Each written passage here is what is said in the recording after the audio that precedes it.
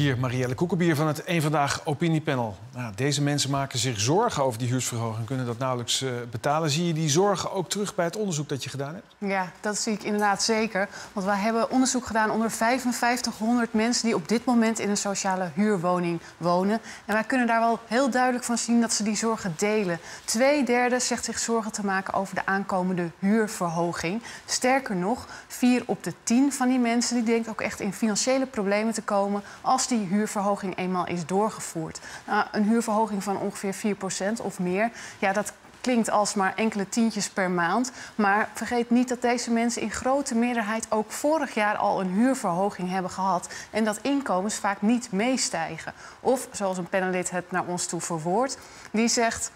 Als de huur nog verder omhoog gaat en daar geen evenredige verhoging van huurtoeslag tegenover staat, dan ga ik in financiële problemen komen. Bezuinigen is dan nog het enige wat je kan doen. Ja, dan waar dit allemaal om bedoeld is, die huurverhoging, dat scheef wonen tegengaan. Hè?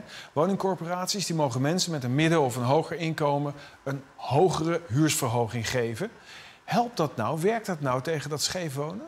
Nou, in ons onderzoek zaten 800 mensen die van zichzelf zeggen dat ze scheef wonen. Oftewel dat ze een relatief klein deel van hun netto-inkomen aan de huur uitgeven. Mhm. Nou, en hun mening is wel heel erg duidelijk. Kijk maar mee. 8 op de 10 zegt dat die maatregel, die inkomensafhankelijke huurverhoging, voor hen geen stimulans is om naar een andere woning te gaan kijken. 1 op de 10 zegt ja, dat speelt voor mij wel een rol. Oké, dus die huursverhogingen leiden er niet toe dat dat scheef wonen wordt tegengegaan. Dat die mensen met hogere inkomens vertrekken naar een andere woning.